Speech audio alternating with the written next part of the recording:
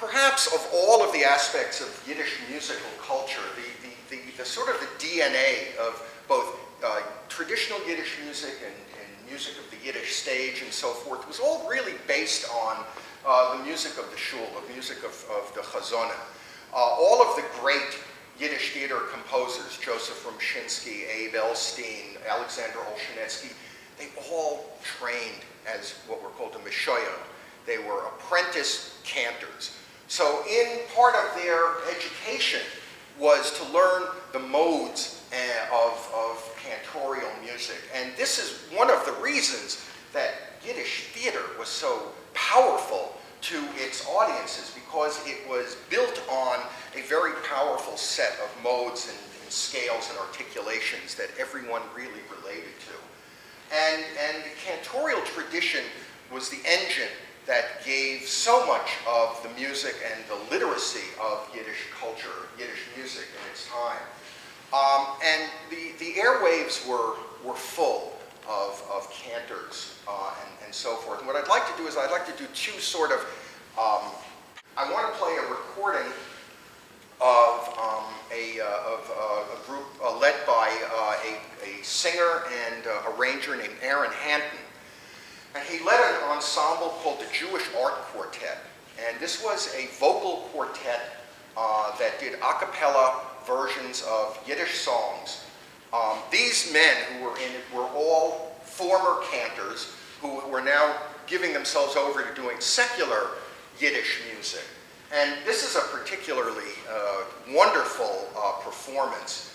Um, and for those who uh, might be, who might know of, there was, at this time in the 1920s and 30s, there were groups all over the world that were doing this kind of very close four-part harmony. Um, there was a documentary a few years ago about a German group called the Comedian Harmonists, and this is of that tradition. this is a really fabulous piece. Uh, aside from the fact it's, it's, it's a breathtaking uh, orchestration arrangement, but the content of it, the song is called Zenen mir Chasidimlach. We are little Hasidim, we're little Orthodox Jews. And this was a time in America when Hasidim were, were very rare. Hasidim did not start coming to America in any real numbers until after World War II. So the idea of Hasidim, even for Jews, it was a rarity. It was an exotic element. And here it's a slightly, slightly tongue-in-cheek uh, uh, about the, the Hasidim. It, it, it, sort of points to the wonder-working rabbi that is so much a part of the mythos of, of Hasidism.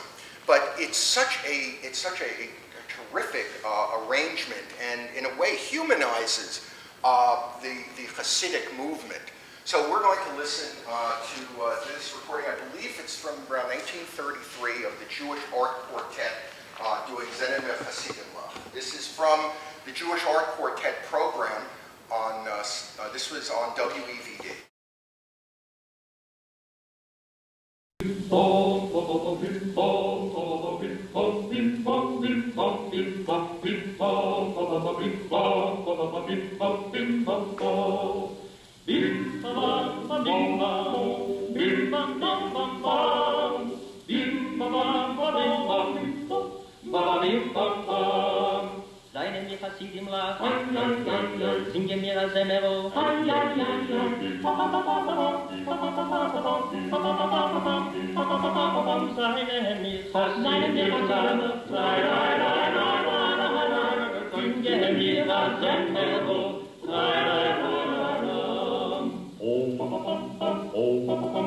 Wo ihr geht und wo ihr steht, ist drei, drei, drei, drei, drei, drei, Und wenn ihr gut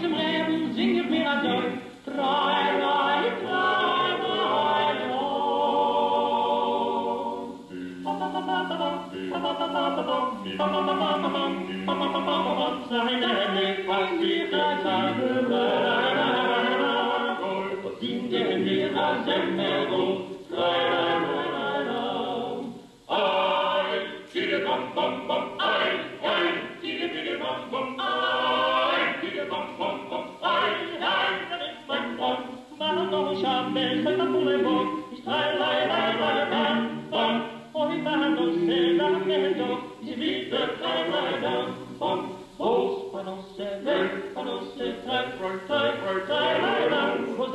schlingen als ihr te singen. Nein, nein, nein. Oi, seine mir Tassidim la. Nein, nein, nein, nein. Singe mir